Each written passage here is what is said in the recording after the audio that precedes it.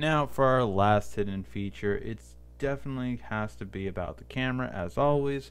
So this is probably my favorite feature of all in the Samsung smartphone and that is the fact that you can have a floating shutter button. Now what this means is when you're holding your phone all at an awkward angle, you're now going to be able to hit it very easily no matter where you are. Now how do you pull up this floating shutter button? You hit the settings button down here and then you go all the way down to the bottom and turn on floating camera button.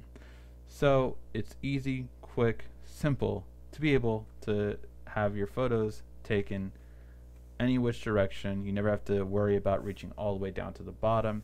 Now keep in mind you can also take a photo with the volume rocker, you can take a photo with the heart rate sensor, you can take a photo when you're doing selfies by going like this.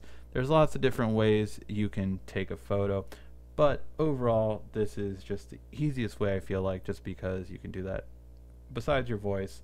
I think this is just a great simple way so you don't have to go all the way down to the bottom anymore.